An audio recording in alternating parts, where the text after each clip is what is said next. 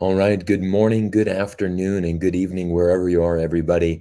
My name is Cyrus Janssen. I want to welcome you to today's stream. And it's been a while since we've done a live stream. I wanted to come back and essentially just share some thoughts on a lot of things that are developing in China right now. Um, this is really important timing because let me just uh, go ahead and mute my computer here.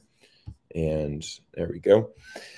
So, you know, there's a lot of important things that are happening in China right now. And I wanted to have a live stream talking about a breaking story that is Nancy Pelosi uh, is potentially going to be visiting Taiwan in August. Uh, I wanted to share some some kind of the information that I've been hearing from both China and the United States on this issue, and then also what the original topic of the stream is going to be is uh, this mortgage crisis, the bank crisis that we're seeing in China right now. Um, I've also been able to find some really interesting research that is quite amazing and really kind of gives a better perspective for all of us to understand uh, this very complicated thing that we're have that's happening right now. Um, all right, um, let's just make sure we are good to go. So first of all, how's everybody in the stream? Can we everybody hear me good? As you can see, I am um, I'm in a different location today. I'm currently on a business trip. Um, I've had a lot of things going on in my personal life right now, so I'm just kind of really busy at the moment.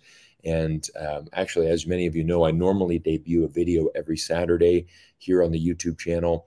And I'm kind of in a restructuring phase right now. I'm trying to get things organized.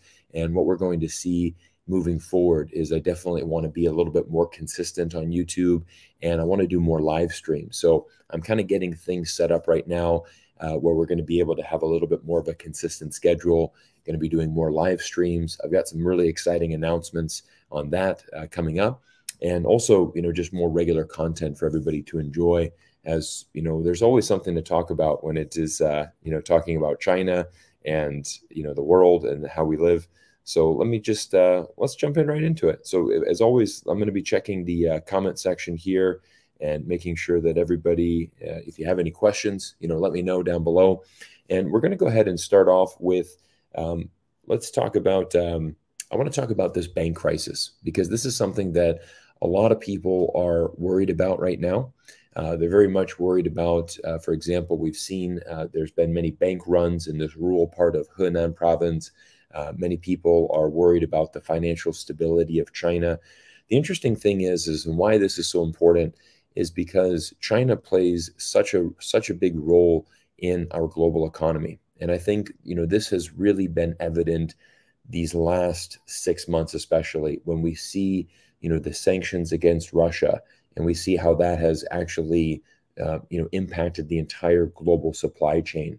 Um, you know, I was talking to my father yesterday and he's a general contractor in Florida and he said, "Look at all of our prices for for, you know, lumber uh, you know, wiring, you know, the, the metal wires that you need to wire a house, those have gone up 100% in the last three months. So for him, his business is so difficult because he's building houses and so much of these materials are coming from around the world and the prices are just so unstable. You know, lumber, materials, concrete, all of these things have shot up. Of course, we see inflation. Inflation's over 9% in the United States. It's up everywhere around the world.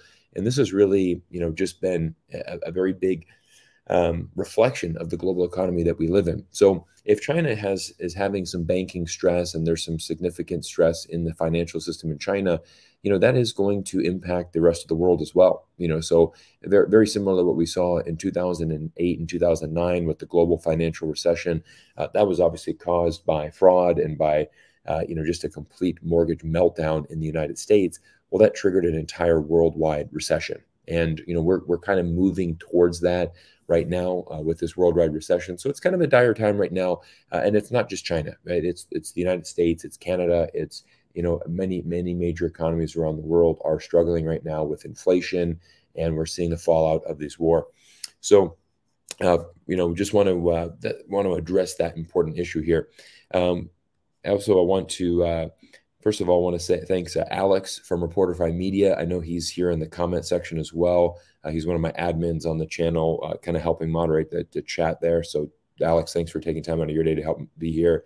And uh, we're going to answer any super chats that come in. So, if you have any super chats, uh, make I'll make sure to answer those. So, what do you think about the Western BS about tanks and protest at the banks? that's from Trevor Norman.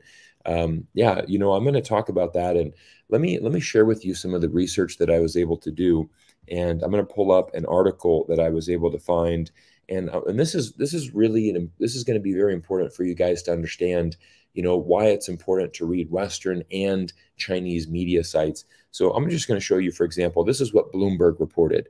Why are people across China refusing to pay their mortgages? What to know so far? Now, this is the headline article from Bloomberg and I want to show you what the Western media is reporting first. So let's let's just have a look at what Bloomberg's reporting, just to get a perspective of what they're you know reporting on here.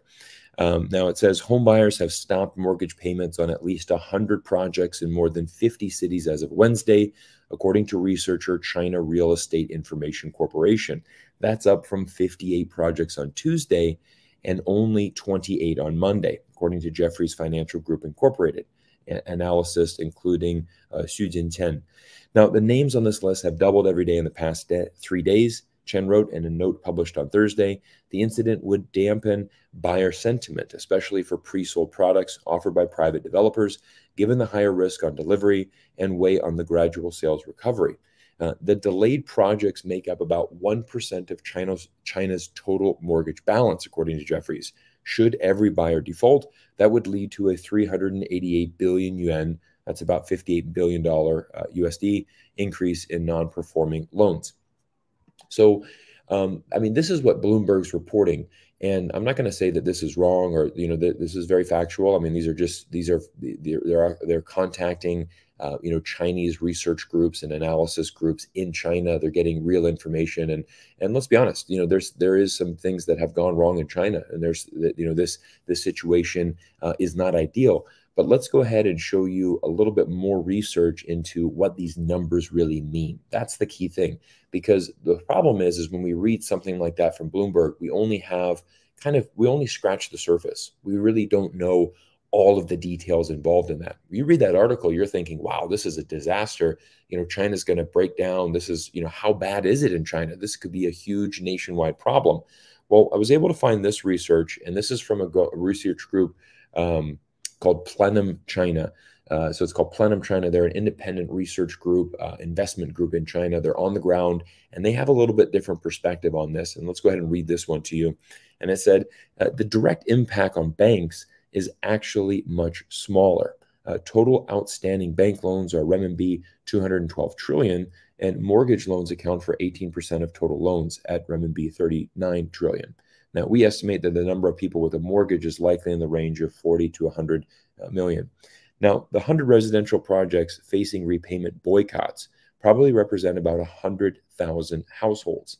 Now, that's something that's really important to understand is the numbers in China. Uh, as we know, China is the most populous country in the world. There's 1.4 billion people in China, and there's also some interesting things um, when we when we look at, you know, how China structures its real estate. I'm going to go ahead and read the rest of that, but I'm going to just add a little bit of context here. Um, for example, I, I bought an apartment in Shanghai, and I was able to get a mortgage in China. Now, typically, the bare minimum for a down payment would be 30% in China.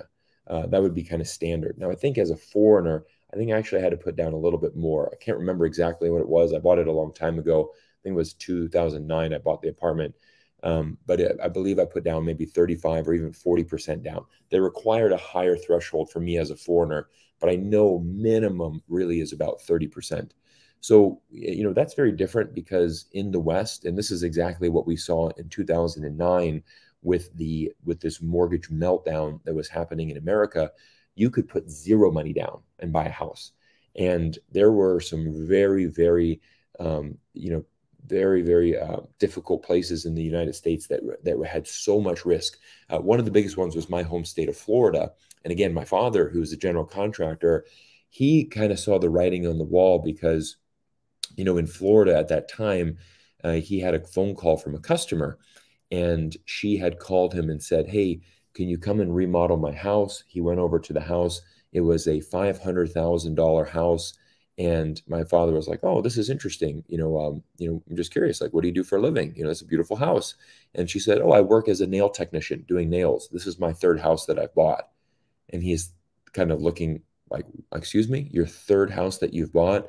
And she's she's like, yeah, I'm just you know all these houses are going up. We're just going to buy them, and you know they're going to go up. We're going to sell them, and we're basically buying them with zero money down. You know, very low interest rates or flexible, uh, adjustable rate mortgages.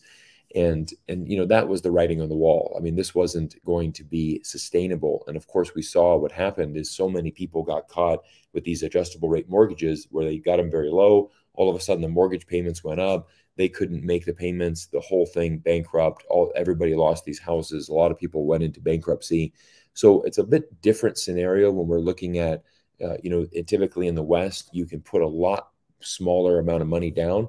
Uh, and that was, of course, back in the day. It's tightened up now because of this, um, you know, because of this disaster that happened in 2009. But let's go ahead and go back to, um, you know, this this insight from Plenum China, which is again this in, this this research firm in China, and it's going to show you exactly how dire this is. It says the 100 residential projects facing repayments probably represent around 100,000 households. Now, this is a tiny portion of the total number of people with mortgages and their outstanding mortgage loans are probably no more than 100 billion renminbi, representing, representing a tiny share of the total nationwide mortgage amount. Now, even if the number of boycotters grows by 10 times, the impact on the banking system would still be limited. Now, that's a really important thing to understand is, is again, we have to look at China and the scale of the numbers because all of a sudden you're thinking 100,000 households might be affected by this potential, you know, bank and mortgage crisis. Now, and if Bloomberg is analyzing this and Western media is analyzing this, 100,000 households sounds like a lot. Um, and, and, it is, it is, it is a lot of people still being affected. But on the grand scale of China in the real estate market, uh, this is really a very tiny portion. Even this research firm said, you know what? Let's go ahead and forecast that this is going to grow by 10 times a factor of 10, if it increases by 10 times, you know, it's still going to have a very minimum effect on the Chinese banking system. So I think this is some really good context to kind of understand. And again, it's the numbers that are so important here. So, you know, even if that number of boycotters grows by 10 times, the impact on the banking system would still be limited. Most Chinese home buyers need to pay a deposit of at least 30% when they take out a mortgage, which gives the banks a decent buffer. And again, this is a really good point right here. And what I mentioned earlier in the stream, you know, you you have stricter mortgage requirements, right? And this is this is also kind of a cultural thing as well. Uh, typically, Chinese they don't like to put on a lot of debt. They don't like to take on a lot of debt. Um, I mean, the average American household lives in debt. Uh, the average American citizen has, uh, you know, tens of thousands of dollars of debt, whether it's student loans, um, you know, home loans, it could be medical loans. It could be, um, you know, college loans. I mean, there's many, many Americans. Uh, by far, the average American lives in a tremendous amount of debt. So it's it, culturally, it's very easy for Americans or Westerners to accept debt and to take on more riskier investments. Chinese are not like that. They actually have, you know, ideally, and this is for many years, many people in China prefer to pay things with cash um, you know, and again, if you, you know, now obviously because of the real estate price, uh, you know, have, have, obviously has appreciated so much in the last 20 years, very difficult to buy a house in cash, you know, for many Chinese families. So now a mortgage is acceptable. But again, you're still going to be putting down a very large portion compared to, you know, what you are in the West. So again, that really does provide the banks a very good buffer. So that is some extra security there. Now, it's also unclear whether all these home buyers joining the boycott will really go through with their promise to stop paying in the coming months, or if they are simply making empty threats to put pressure on the government. The top concern for the government is the threat to social stability. So they have strong incentives to de escalate the situation. So, you know, this is an interesting thing, you know, where home buyers have said, you know what, we're going to stop making mortgage payments. And what we've also seen from China's government there's another Bloomberg article. I don't have the link in me right now to pull up on the screen, but basically it said that Chinese banks are looking at potentially pausing mortgage payments, you know, for a period of, you know, maybe 3 to 4 months, you know, sacrificing the interest on that. Now that would be a very big um, you know, step from China and it's actually kind of i would say it's some goodwill. You know it's the chinese government saying look we're going to let's take a break. Let's take a break from you know charging these interest payments for a few months. Let's kind of settle this situation. And obviously the chinese banks would take a huge loss. I mean if they're not if, if they're not taking interest payments, you know, for a period of three months, you know, over 100,000 projects, that's a lot of money. You know, that's a lot of money that they're not collecting.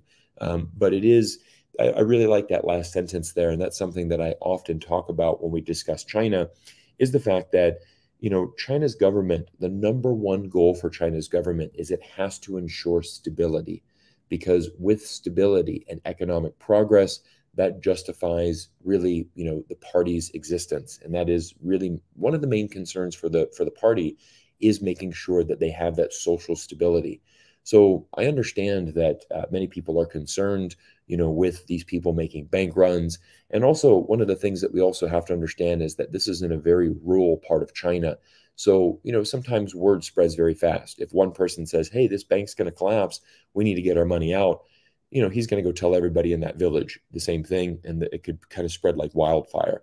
And this is why this is why China is very strict on certain things. You know, for example, um, you know, there's certain practices um, like even like these religious cults that exist and you know that exist. China doesn't want these cults in China because you know they know that it could spread very fast and it's very dangerous for the people. You know, so they want to make sure that these you know crazy religious cults are not being spread so you it, you can see that but i think what we're going to see right here is that kind of my conclusion on this bank matter is really uh, we're gonna let me wrap this up this about the banks and then i actually haven't checked the comments so let me check these comments afterwards because um, i've been on a roll here talking i love chatting with you guys about this but i think what we're going to see with china is, is that you know times of economic stress and you know sometimes mortgage problems this happens in every country in the world. I mean, there, there's different times, and this is a, a this is definitely an issue that china's going to have to deal with. I do think that they are are well prepared to deal with this, and they're going to take the right steps to make sure that the social stability is there. Um, again, you know, when we talked about the Evergrande situation, right? That was huge news about seven, eight months ago. Everybody thought Evergrande was going to collapse, and you know, we what we saw is we saw local governments coming in um, you know, the central government was giving pressure to the local governments to take on some of those loans, reduce the debt. And the priority is is that if if a Chinese household has put a down payment on a residential project, well, we need to get that project built for them, you know, because they can't lose that money. Because if if people are investing in products and and then losing their entire life savings, you know, that's going to be cause a very big social uprising, and that's the last thing that the party wants to see. So again, it's in China's best interest to de-escalate this. I think again, looking at say the banks taking a break for a few months, saying we're not going to charge these interest payments, we're going to be able to sort these things out. You know, let's give it some time. You know, I'm a bit more optimistic on that, but I do like that article from from or that research from Plenum China that they do a very good job you know breaking down and giving us a little bit more context and so that's why again i think you know western media sometimes they do a very good job of scratching the surface they kind of report on what's happening, but to really understand how China works, you got to get down to the grassroots level. You have to you have to be speaking with people on the ground in China. Again, I'm going to trust a research firm that's investing in China, very active in China. Um, they're going to have the real insights to help us all better understand the reality of what's of what's really going on there. Um, everybody, we've got over 600 people now in the stream. So if you're just joining right now, thank you so much. My name is Cyrus Janssen. If this is your first time, um, you know, uh, coming here to the live stream, I want to thank you for being here. Uh, we've got an important stream today. We're talking about two major issues. Is the one is going to be the bank and mortgage crisis. We've pretty much gone over everything I wanted to share on that, and then we're going to kind of open that up to some questions right now. In the second half of this, we're going to be talking about the Speaker of the House, uh, Nancy Pelosi and you know, and her role. Um, you know, she potentially is going to go to Taiwan. Uh, this is a very big, very, big situation in in the United States, Taiwan, China relations. Um, she originally was going to go to Taiwan in April. She caught COVID. She's had to delay that, and I've got some interesting analysis I'm going to share on that as well. But first, let's go to the comment section and see where everybody's everybody's saying, and if you have any questions and uh, any, so if you have any questions, please let me know and drop that down below. And I'm going to just go to some uh, super chats as well. So we did have a super chat come in from um, I0807. Um, I think that's Singaporean dollar says thank you. So um, uh, I0807, thank you so much for the support to the channel. I appreciate you guys uh, being here. Um, we got a question on here saying uh, cancel culture. You know, cancel culture is very much alive. You know, uh, in in North America, it's it's uh, it's quite fascinating all the things that are developing. Um, uh, let's see here. Um, seems like we have some uh, some trolling going on in the comment section. Alex, thanks for taking care of those. You know, we know that sometimes people like to come in here, um, you know, and do some so Jim Chan, Cyrus is a good guy. Okay, thank you. I appreciate that comment. Uh, China is so huge. From Vicky, yeah, it is very huge. China is a very big country, and that's why it's also interesting. You know, um, one of the things that I've done is, you know, when you look at um, even when you look at marketing in China, and you look at how you know China. I always say this: China is more like a continent than it is a country because it's so diverse and it's it's almost like for example if you were to if you had a product and you wanted to market it to europe um, it's very difficult to say i'm going to market this to europeans because europe is so divided right? I mean you're going to need to market it to germans to french to italians to scandinavians and even within scandinavia norwegians sweden um, swedish people. You know you need to that's kind of how china is is if you look at the continent of europe and how diverse it is china is very similar you know, Beijing is very different from Shanghai and Guangdong and out west when you go out to Chongqing, where my buddy Alex is at, you know, very different culture there. So even if you have a product and you're bringing that in, you know, you're going to have to understand culturally how things are going on in that local region. So again, you know, this is a this is something that really people need to understand. Sometimes, especially in the West, we just think of China as one place, and we think of China speaks one language, Chinese.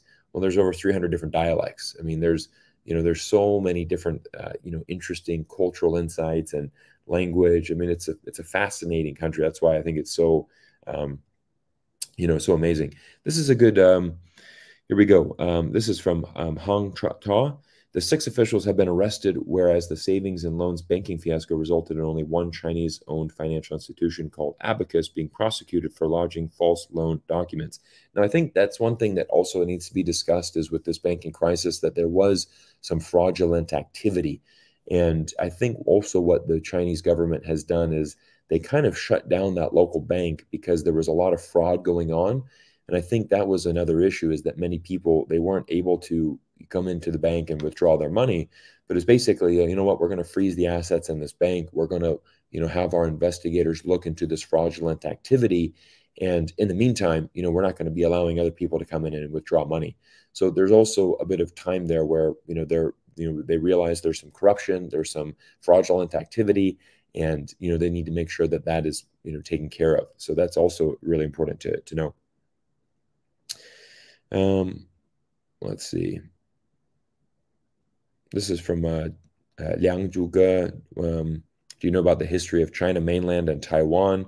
Uh, that's a very good one. That's a very one that, that's important to understand the history of Taiwan and China. You know, to understand kind of the, the, the significance of that issue today.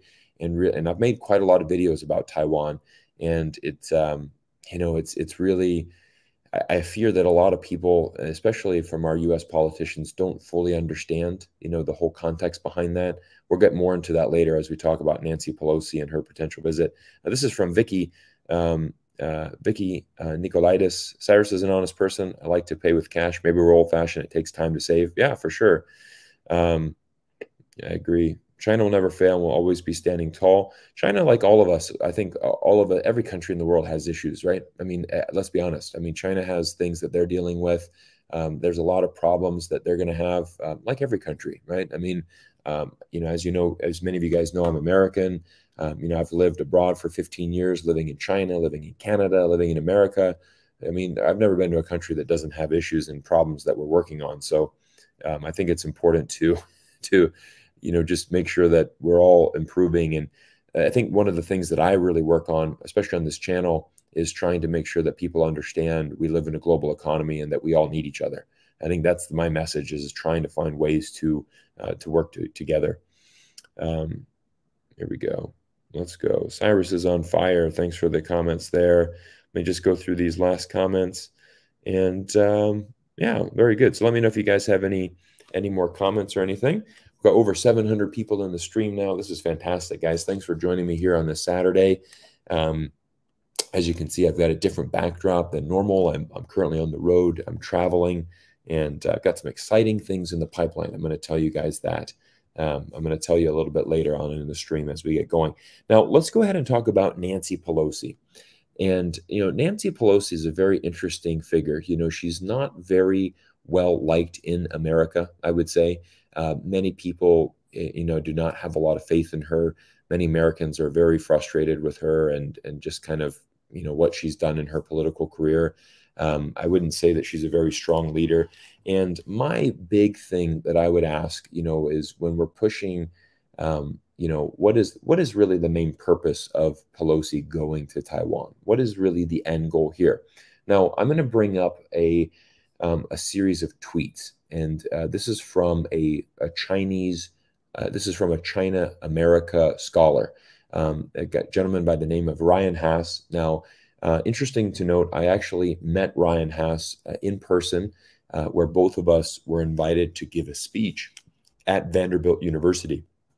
Uh, many of you um, might, if you've been following this channel for a long time and you go back to about February or March, um, you're going to actually let me drop the link to that. I'm going to drop a link to that in the show notes for you guys because what I did is I traveled from Vancouver, Canada. I traveled to Nashville, Tennessee, and I gave a uh, keynote speech and it was really neat because I was a, I was invited on stage with Ryan Hass, who has had a very fantastic uh, political career. He's worked for the State Department of the United States, and he actually was stationed in Beijing um, under the U.S. Embassy in Beijing, you know, working on China relations. So he was part of Barack Obama's uh, presidential crew, um, you know, and basically the China contingent. So he was working for the United States government at the American Embassy in Beijing um, you know, has a lot of great insights into, um, you know, into China, and I really liked him. We really hit it off very well. Um, he's he works at for a think tank in Washington D.C. Um, and what we were talking about was let me just go right here to the comment section here. So this is the link to. Go ahead and click this link that I put down in the comment section, guys, and you can watch that speech. Uh, this was a speech that I um, that I uh, gave um, Actually, hold on.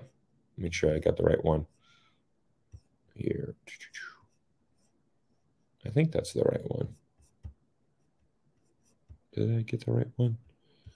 Sorry. So that one was, um, so that was what do Chinese students think of America? So these are some student, I think I dropped a link for the student interviews that I did. And then here's another link. I'm going to drop you two links then.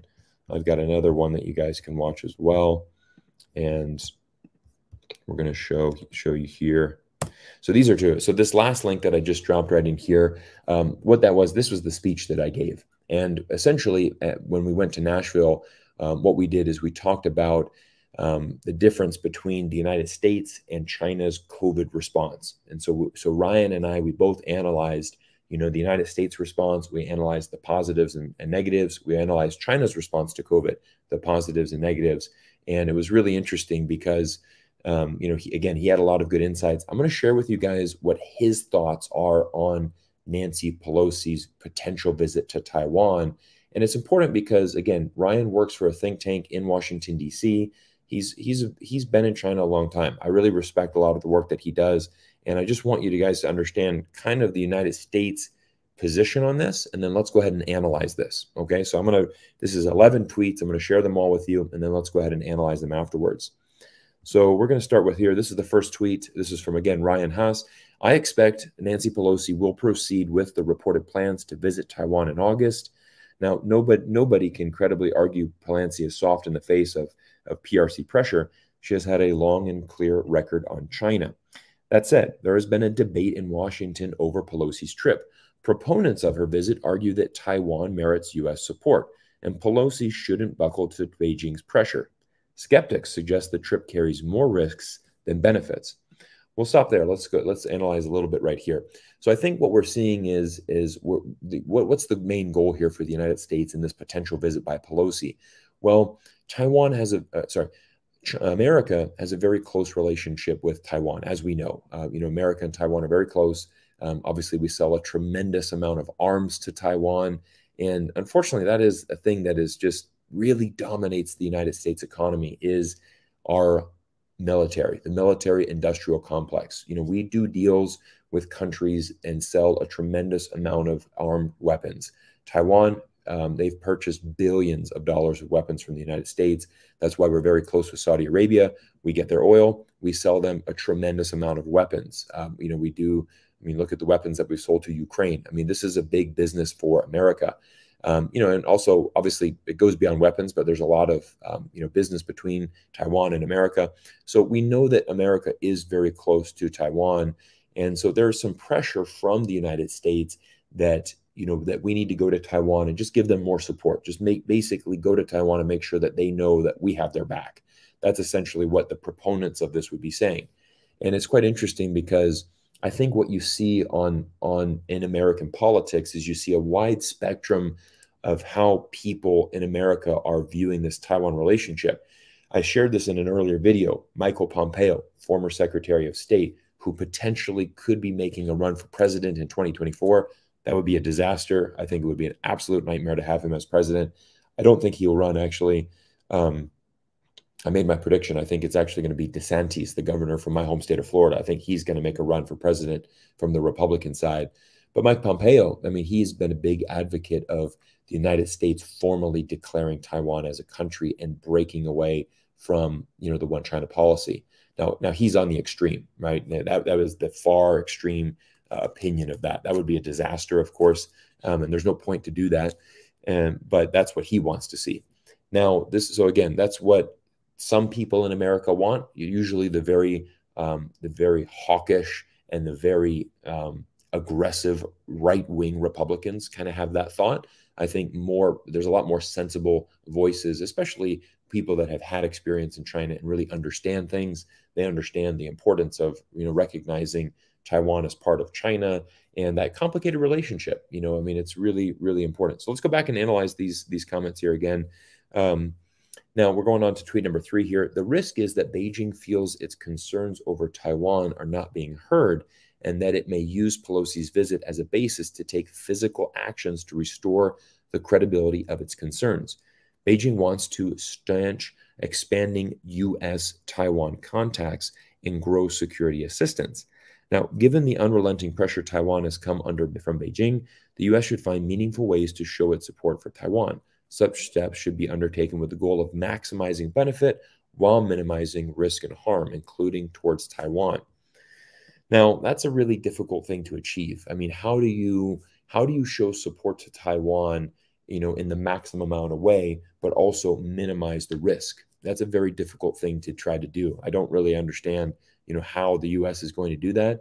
Um, I don't think sending Nancy Pelosi to Taiwan would be one of those. That's that's really going to be an escalating thing, uh, especially the timing of this. Right in August, you know, this is kind of leading up to again. We're entering a very uh, interesting political time, both in in China and in in the United States.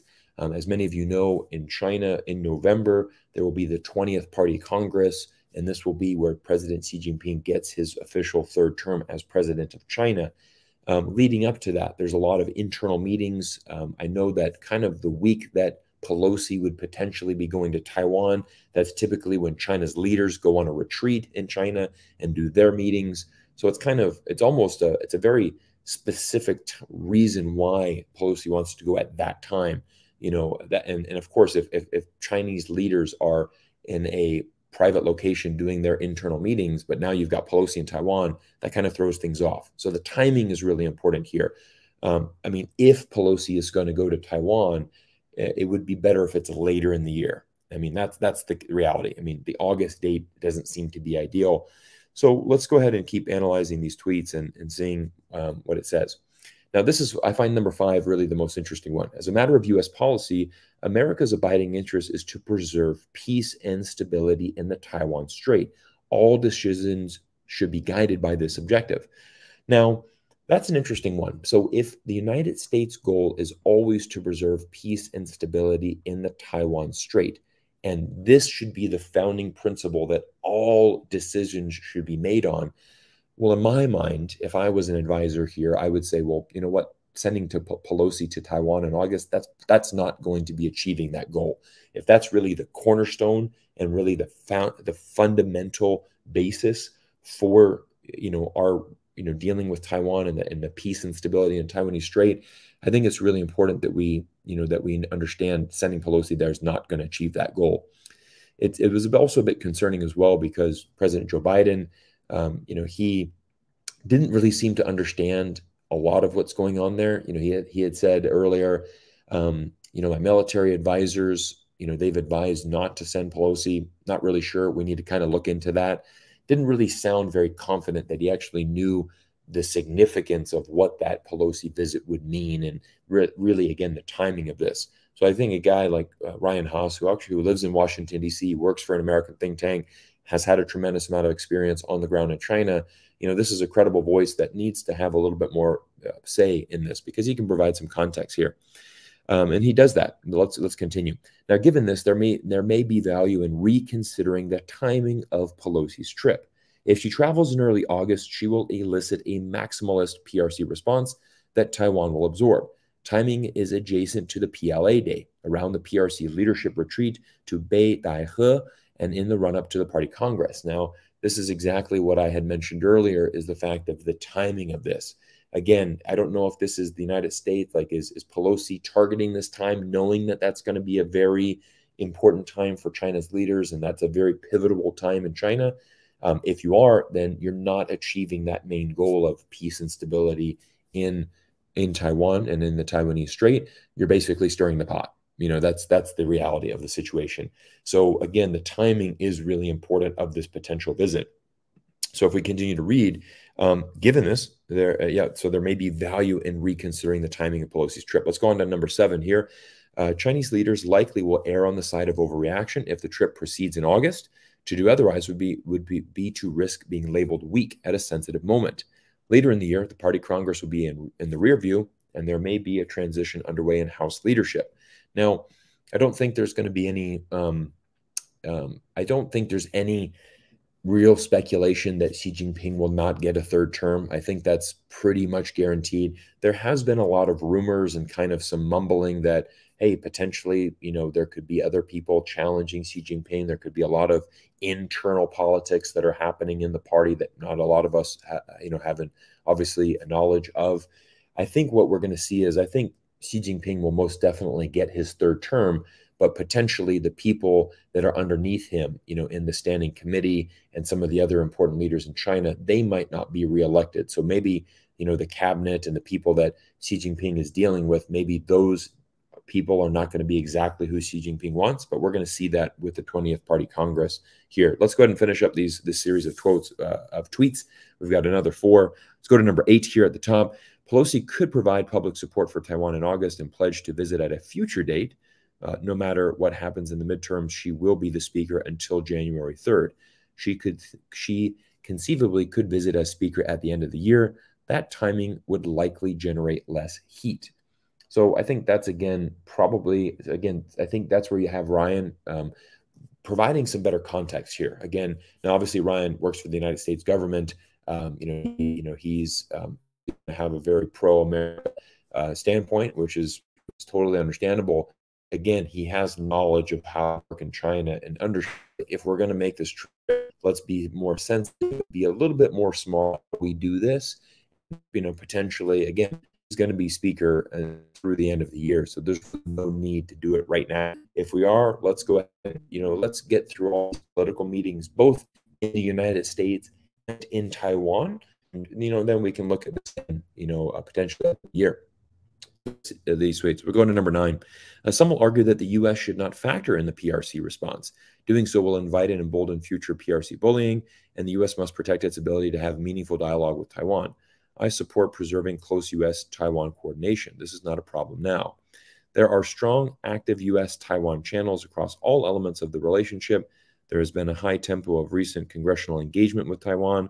A high level bipartisan delegation of former officials, led by Admiral Mullen, um, recently visited Taiwan. And let's go ahead and go to number 11, the final one. The stakes for a visit by the speaker are too high to be driven by the August congressional uh, recess calendar. Sometimes discretion is the better part of valor. Speaker Pelosi could show support and at less risk later in the year than in early August. So again, this is, I think, some good insights from someone that is that is obviously going to be very pro-America and have that U.S. government viewpoint. But you know, again, there's things where, again, we have to really proceed with caution and just respect. When when you have again, let's go to the extreme example here. When you have someone like um, Secretary, former Secretary of State Michael Pompeo, you know the reason that he says these comments is because again he you also have to remember um, he gets paid a tremendous amount of money for speaking engagements. I think he was paid around 300,000 US dollars to go to Taiwan. He basically did a 30 minute speech, flew first class, five star accommodation, um, you know, to come to Taiwan. And basically just he got paid by a very pro Taiwan nationalist group to go and spew some nonsense that that most people with a rational mind in America, a guy like Ryan Hass, I mean, he's not going to agree with what Michael Pompeo is saying. Ryan Hass understands the complexities of managing this complicated relationship because, again, you know, the United States does have a very good relationship with Taiwan. We have a good relationship with China as well. Uh, and what I've said, you know, this is what I mentioned in an earlier video, is that the US and China, they are strategically tied at the hip for the foreseeable future. And I'm talking for a long time in the future. China owns trillions of dollars of US debt. They cannot unload that debt anywhere. The United China will continue to hold that for decades to come. In addition, the United States is absolutely joined at the hip with China as far as all of our manufacturing and supply needs. We absolutely need China, you know, for the economic development of America. And that is that is so important for people to understand. Uh, people don't realize, especially Americans. Every time I come back to America, it's amazing how little people understand about how our world works, how the global economy works, and how, you know, why a strong China is also good for America. Because again, we live in this global world and this global economy. So it's really important to understand these. You know, when you have, you have to really question their motive. When somebody like Pompeo goes to Taiwan, gets paid $300,000 for 30 minutes of work, basically to just go up on stage and, and piss off China, I mean, there's really no point in doing that other than you're going to get a payday. That's that's the bottom line. Um, I mean, that's that's how he makes his money. Is he's going to go give these obnoxious talks, and and he's so you know hawkish against China, and somebody like that really doesn't bring any credibility to the table because again, you know, you're you're living in this bubble where you think America is, you know, we're the best, we're the only, you know, and and this is the same thing. I mean, I I noticed this as well when you know, you know, forget China. Let's talk about Canada. You know, um, you know, Michael Pompeo says the best strategy for the world is putting America first. And and I and I mean, I'm American. Obviously, I want America to do well. Um, you know, but again, I don't agree with that. You know, living in Canada, for example, um, I want to see Canada make the best decision for for Canada. And there's certain things that um, that that I I don't like that they do. For example, you know, Canada was dragged into the um, uh, they weren't dragged into um, they were dragged into the war um, in Af- I forget it was either I think it was Iraq or Afghanistan one of the wars they decided not to partake in um, and you know typically Canada always has you know they're basically uh, an ally of the United States they're going to follow the United States lead and so I want to make sure I said well as Canadians you know you need to be doing the best for your country just because the United States is your largest trading partner um, you know, you need to step up and do the right thing for you. We saw this with the whole Meng Wanzhou situation. If you guys remember that, if you've been following the channel for a long time, um, you'll know that I, I mean, I covered that trial extensively. Why? Because I was on the ground in Vancouver talking about U.S.-China relations. You know, ironically, in a third party, in a third country, which was in Vancouver, Canada. Um, but again, you know, you know, Canada was put in a very awkward situation uh, because of the treaties. They had no other option but to arrest uh, Meng Wanzhou. But the but you know it was really they were caught in a very awkward situation where many Canadians felt, hey, this isn't in our best interest. Why are we having to listen to the United States and do their dirty work? And that was one of the things that um, you know that was one of the things that um, when I went to the courthouse off the record, I was speaking with the security guards outside the courthouse, and that's what they said. I mean, that was that was an off the record thing that they said. I'm not going to quote anybody on that, but you know, just privately speaking to me, he said, you know, to be honest, like we're just doing the dirty work of the U.S. and we don't like it. You know, as Canadians, why do we? Why do we? We don't want to have Meng Wanzhou in Canada. You know, now this is, you know, and you saw the, the spell out effects of that. Obviously, a lot of confrontation between Canada and China, and Canada has had a good relationship with with China. So again, you know, you always got to look at people's, you know, what's their intention here.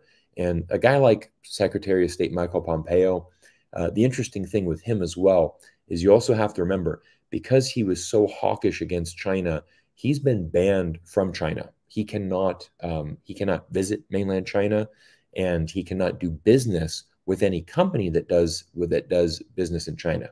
So you know, for example, many people for many politicians after he finishes his Secretary of State job, you know, he would be getting a, a very high profile consulting job at one of these publicly traded companies in America. Well, most publicly traded companies have access to the Chinese market. They do business with China. Well, China's not basically, you know, basically Michael Pompeo has been blacklisted. So there's a little bit of revenge there, I think, from Michael Pompeo, where he's he's bitter. You know, he's he's not happy that he's been, you know, basically blacklisted from doing business in China. So that's why he's taking these speaking engagements and pushing that you know, that pushing that needle. But again, you know, we, we don't want to listen to guys like that because he's on the far extreme. You know, I think, and that's the thing right now that's really difficult in America is that you have both sides. If you're on the very far extreme left or you're on the very far extreme right, you know, these are the people that are causing a lot of the problems in America because for the average American, they're a little bit more close to the middle. You're always going to have your Republicans and your Democrats, but it's the extreme sides of both that are really the uh, the culprits for the chaos that we're seeing right now. And so again, you know, I like to bring it back to the middle, and we need to understand the importance of you know Taiwan, China, the United States, and the United States has a very interesting relationship because we do do a lot of trade with Taiwan, and we're trying to basically balance a relationship where officially the United States does recognize the one China policy the United States government recognizes that Taiwan is part of China. There's no doubt about that. You can ask any government official. I'll ask the president of the United States, as any government official. They, they, that is the policy of the U.S. government, and you know, and within that, you know, we do have certain agreements and arrangements with Taiwan to have, you know, you know, for example, to still sell them arms and do other things. So it's a very complicated relationship that just needs a lot of knowledge and a lot of nuance and really a lot of experience to understand. So I, I, like those tweets from Ryan Hass because basically you have someone within that's close to Washington, D.C. saying, hey guys, guess what? August is not going to be the best time for this. If the goal is to strategically de escalate the situation and make sure that we have as much peace and stability in that region, then delaying Pelosi's visit would definitely be the best thing. Um, and so, um, and I had shared in a tweet earlier as well that, you know, I don't even know if it's really beneficial, you know, to, you know, what really is the point of Pelosi going there.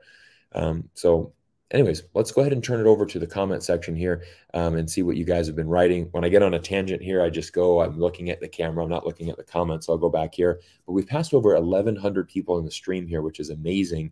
Uh, really, really awesome. I want to thank you guys for uh, being here today. You know, it's been a while since we have, um, you know, done a stream. But again, I'm, I, I want to, I'll tell you guys a little bit more as we close out the stream of what my plans are for the future and how we're going to keep growing this channel and uh, doing these things. So let me scroll back up and uh, see if we missed some good comments.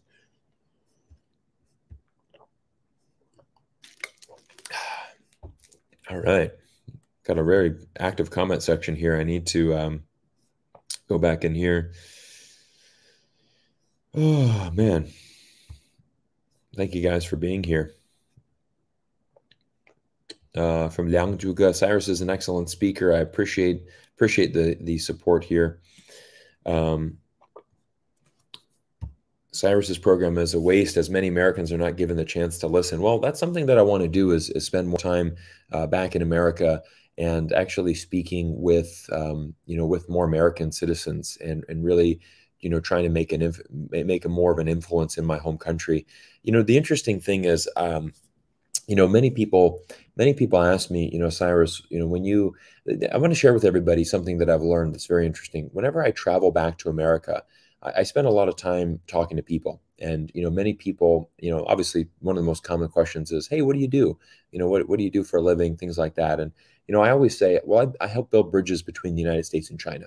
And that's that's how that's that's what um, that's what i always lead with. Now that's a very interesting answer. So a lot of people are like, oh, what does that mean? You know, what do you do? You build bridges. What do you mean you build the US China relationship?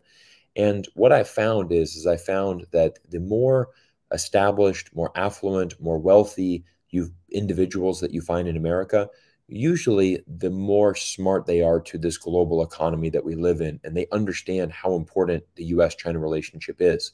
I've actually found, and from my personal experience, from everywhere from meeting people at the airport to meeting people at restaurants to just simply talking to people on the streets, I found that most Americans, you know, when I get a chance to talk with them one on one, they're actually very curious to learn about China. And I've had, I mean, I get so many emails every day from from people all over the world, you know, saying, "Hey, I've been really curious to learn about China. I appreciate your channel. You know, I appreciate your ability, your your desire to really improve the relationship." And you know, I'm really thankful for the work that you do. So the comments like that are amazing for me because it's a great motivation. But again, my main point is is that I've I've you know, as I travel to throughout North America and U.S. and Canada, I found most people are very open uh, to to you know, dealing with China, learning more about China. And you have to understand is that, you know, in America, you know, there's a lot of people that are, I think, I think America is unique in the sense that it's a very localized country. Um, in the sense that if you're from Florida, you typically really only pay attention to things that are happening in Florida. And you don't really know what's even happening outside of your state um, you know what's happening in california nobody knows what that in florida right and so you know as a result of that if you you can imagine that if you're in florida and you only know what's happening in florida you don't even know what's happening in other states well you definitely don't know anything that's happening in in europe or australia or even and especially a country like china so so that's where the problem really lies is the fact that you know and this is why still in 2022 so many Americans, you know, they just think of China as, oh, it's just this communist country. Oh, it's, you know, it's a poor country, third world country, bicycles, Chairman Mao suits. I mean, that was really the perception 15 years ago when I first went to China. Ironically, I mean, still 15 years later, 2022, many people still have that same perception that China is a very poor country and they just don't have that knowledge. And again, you wouldn't have that knowledge unless you're specifically going out there and seeking that information. Unless you know but again if you're if your whole world is in florida why would you be interested to go on to youtube and say you know what's really happening with the bank situation in china? Um, you know and that's where that's where you kind of get in this caught that's where you get caught where americans you know bloomberg says well you know all of these mortgages are defaulting in china. Chinese people aren't going to pay their mortgages. The entire financial system is going to collapse. Well, there's a really good article that I shared earlier in today's stream from a research group that says, hey, this is the situation in China.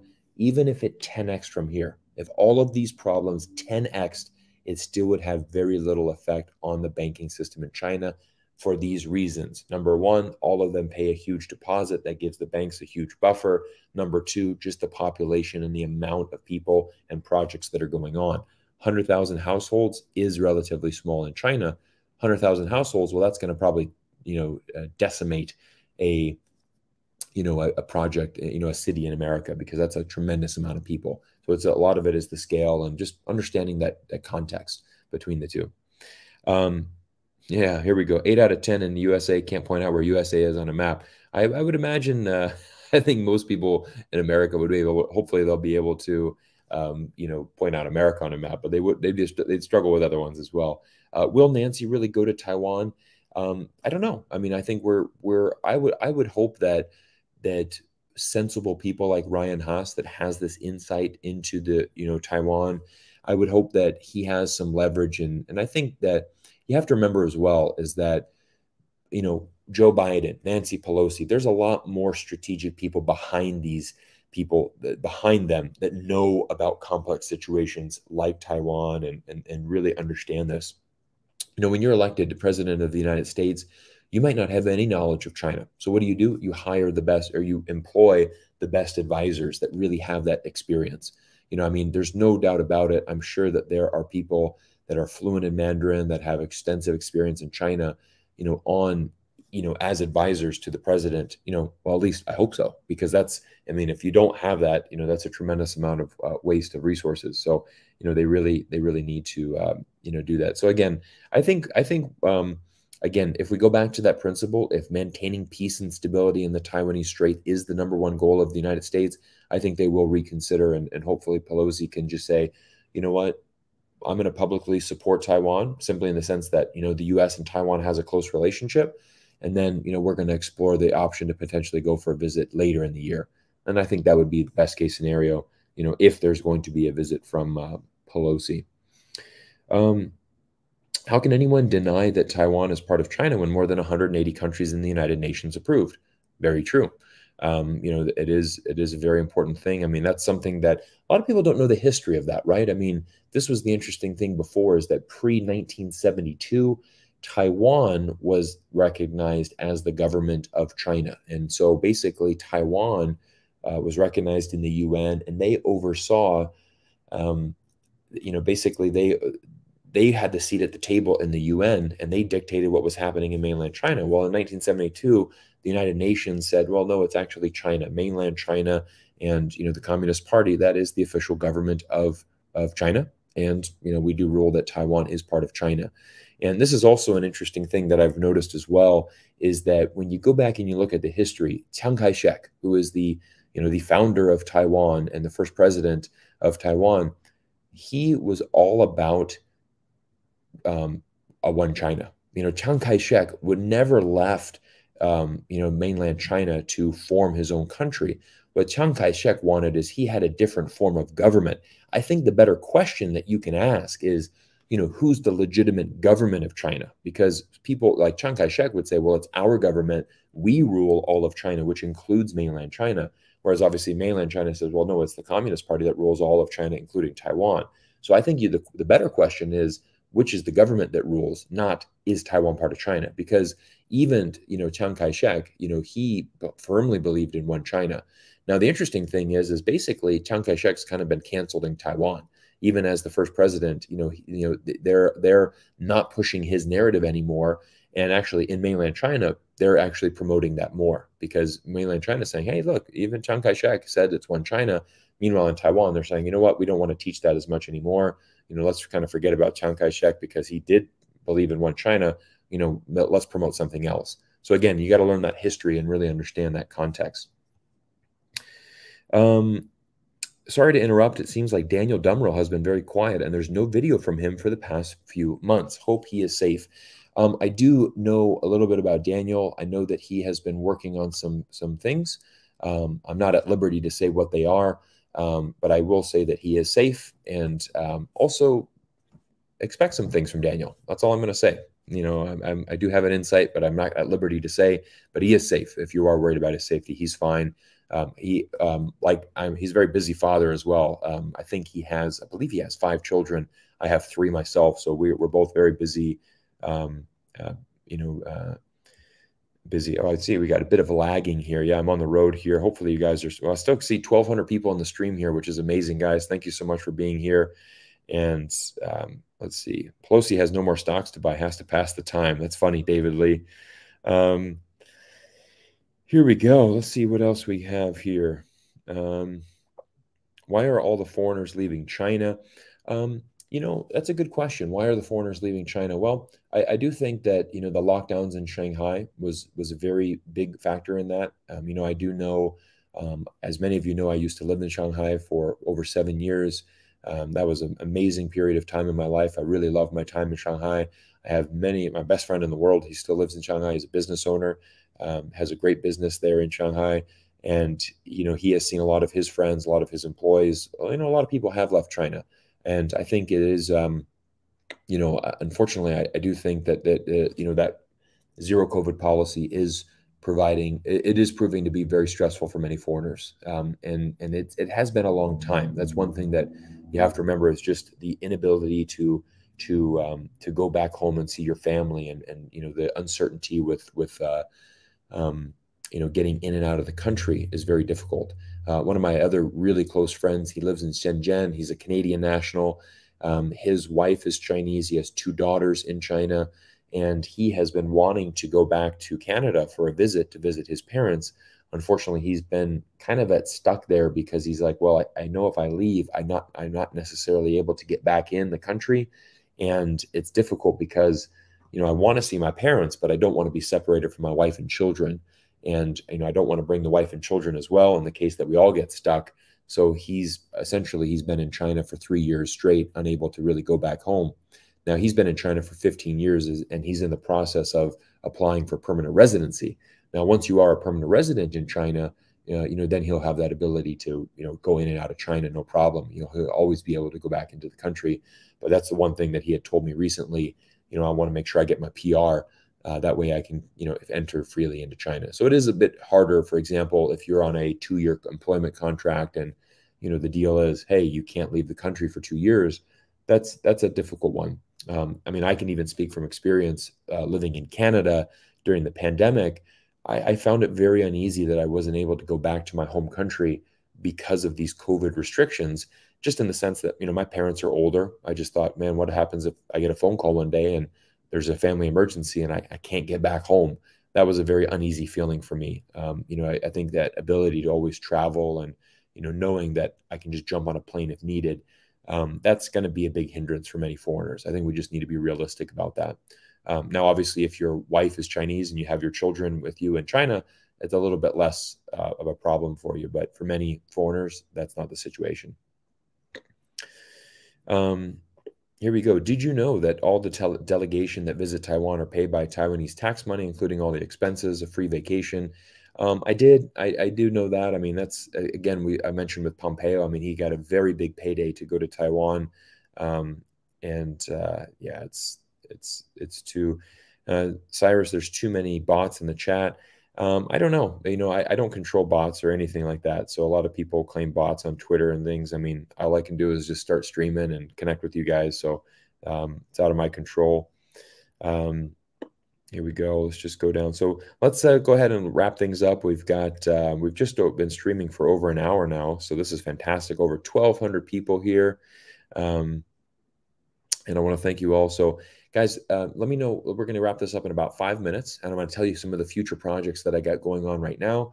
And then we're also going to um, tell you some of the things that are eh, for the future of this channel. But any last questions that you had, um, drop them down in the comments. We'll answer those as we finish out. And again, thank you so much. Um, why is why is China supporting Russia? Um, that's a good question. Let's go ahead and answer that.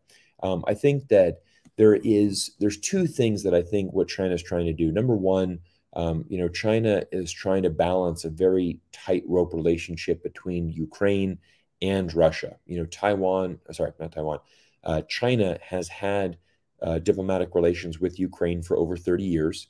Uh, they celebrated that last year as a fact, and you know, and China does recognize Ukraine as a sovereign nation. Uh, that's very important to understand because you know in, in addition to that you know china is also a strategic ally of russia. And obviously their economies are very close. You know they do a lot of partnerships and deals. Um, i think what china is basically trying to do is they're trying to manage that relationship. They're trying to show support to ukraine. They're trying to support show support to russia and trying to stay neutral as best as they can. But i think for many chinese I think that many mainland Chinese will be very supportive of Russia in this conflict, mainly in the sense that I think out of self preservation, and this is my theory on this, is the sense that, you know, if Russia were to, to, to collapse and if Vladimir Putin were to be defeated and if, you know, and if the West got a hold of Russia, I think there's a lot of fear that potentially China could be the next target. And so I think, you know, when you look at Russia, you know, many people are saying, well, if, if Russia survives and Putin survives and you know they can win this war that you know that's maybe better for long-term stability of China in the long term as well. So I think it's actually more of a their own self-interest for many Chinese saying, look, you know, I, I want to support Russia and I want, you know, I, you know, I think that's that's at least my theory on that. Um, you know, but I think it's it's also important to know uh, I mean, you know, for example, you know, most Chinese are not going to be very favorable of NATO. Um, obviously, NATO, a very Western organization that is that is geared. Uh, you know, it was founded to to combat the rise of the Soviet Union.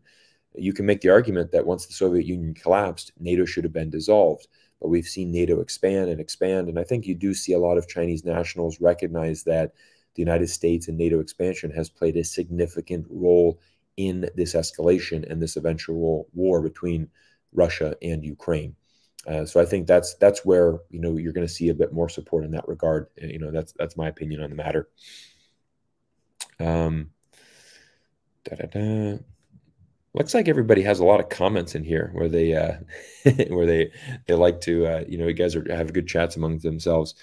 Um, yeah, Taiwan dare not officially declare independence as part of China. I don't think they do. I mean, the interesting thing is I've been to Taiwan many times before, and you know one of the things that was interesting is I saw The Economist. You know they had a article, they had a headline article earlier last year, I believe it was Taiwan, the most dangerous place in the world and it's a bit misleading because I think, you know, I saw a video clip that was really good where, you know, they they went to the streets of Taiwan and they were talking to local Taiwanese. And if you've been to Taiwan, you know Taiwanese people are very friendly.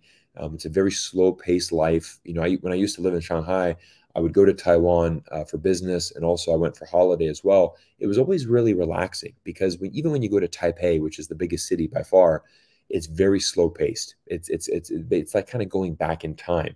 It's modern in some of the areas, but it's you know it's very old school. And I, and I think that um, you know many people there are very it's a very slow pace of life. Uh, many people just enjoy eating. That's obviously the big thing to do when you go to Taiwan.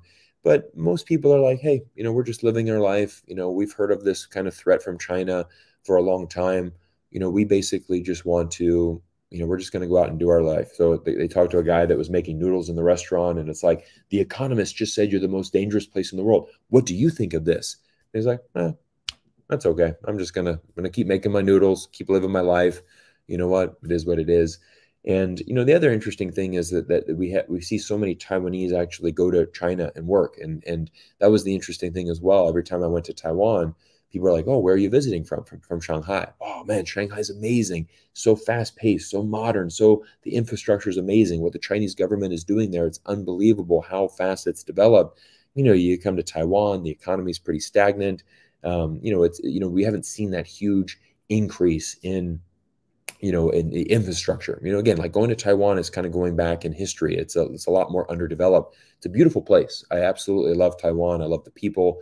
Um, I love the type of the, the, Mandarin dialect that they speak there. I think it's fantastic, um, and it's um, it's really really good. So, um, anyways, guys, um, let's go ahead and wrap things up here, and I'm going to tell you a little bit more about some of the projects that we're going to be doing uh, in the future. Now, what I'm going to be doing is I'm going to be building a uh, kind of an indoor studio. I'm actually going to be renting an office space and building more of a permanent setup where I'm going to be doing more live streams like this. I mean, we have 1,200 people in the stream here. Uh, this is a stream I set up about, I think I set this up last night. And then, you know, we, to get 1,200 people in here uh, the next day, that's awesome. I really appreciate all of your support here and, and being here. That's really, really awesome. And what I want to do is I want to have a little bit more of a consistent live stream schedule. Um, I do like the live stream because typically what I do on a weekly basis is I'm, I'm constantly going through articles, I'm going through a lot of research, and um, you know, it, it, takes a lot of time for me to do my videos because I do a lot of research and a lot of planning and scripting to make sure that these videos are very well put together. The live stream allows me to kind of analyze things on the go. As you saw in today, how I brought up articles, I brought up tweets, and I said, hey, let's read these tweets out loud together. Let's dissect them. Let's add some nuance. Let's talk about it. It's kind of a good format for me. So I'd like to be doing this um, in a more regular uh, fashion. You know, hopefully having a solo live stream once a week. You know, for you guys um, starting in August um, as I as I get things wrapped up. Now, in addition to that, um, I'm going to be looking to do a collaboration with, some other YouTubers. I won't mention their names, but you know, um, I, have some exciting things in the pipeline where we're going to be looking to be bringing a regular show, uh, bringing in multiple YouTubers and also bringing in some good potential guests that have that have experience on the ground in China. Um, I, many of you had asked, for example, Pascal Coppens. Um, you know, he he runs a China channel called uh, Pascal's Lens on China, and he recently just authored his second book, which is called Can We Trust China?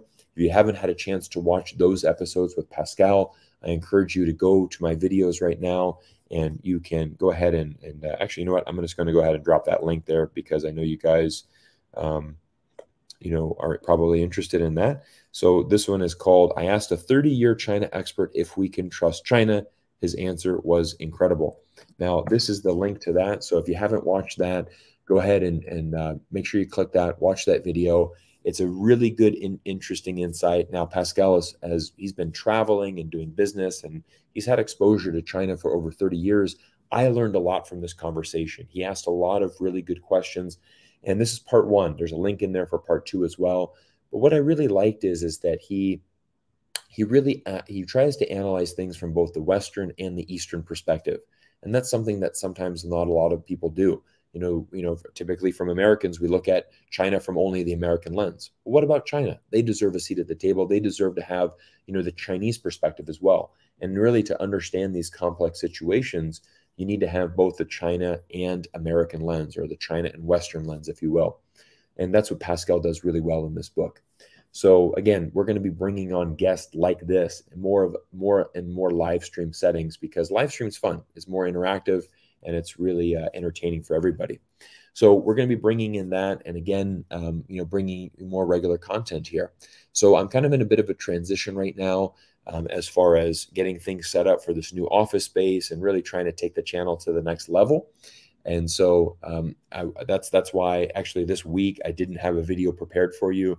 I had so many things going on. I, I just I'm on a business trip right now. I didn't have a chance to uh, you know, be able to have enough time to put a good quality video together. But I know that you guys want to see at least one video a week from me. So I said, you know what? Let's make sure we do a live stream to make sure that we can connect with the fans, keep things going. So I'm going to wrap it up with there. Um, and again, any final questions, let me know. Uh, Mansana, you said Cyrus has done some videos with Sean Ryan. I have. I did a two part series. We talked about, um, Sean had a really good, interesting insight where he had debated I think The Economist had had um, had invited Sean Ryan and Joshua Wong, um, you know, the, the, who was leading the protests in Hong Kong. Uh, both of them debated uh, on stage, and so I, I, said, "All right, Sean, share me your insights into Hong Kong, and then also share me your insights into Tibet and Xinjiang, because I get a lot of people requesting me to make videos on Xinjiang. I'm I'm a bit reluctant to make videos on Xinjiang, mainly because I've never been there, and so I'd rather invite people that have been there and have had experience on the ground. You know, it's like share me what, what what you learned. You know, what did you learn from Xinjiang? What did you see? And so, you know, that was a good interview that we did with Sean Ryan. Uh, both of those were well received as well. So, guys, thank you. I know. Um, um, here we go. Uh, can you collaborate with Catherine's journey to the east? I think that would be very good. Um, speak a little bit of Cantonese. Oh, um, yeah, that's about it. I'm really hungry. um, so, uh, anyways, guys, thank you. Amazing for your incredible support. Um, I look forward to doing more live streams, more content for you guys. Um, drop some more comments in this video. Let me know what you think. And again, thank you all for your time. And we look forward to seeing you in a future video soon. Take care, guys. Yeah. Where's my video clips?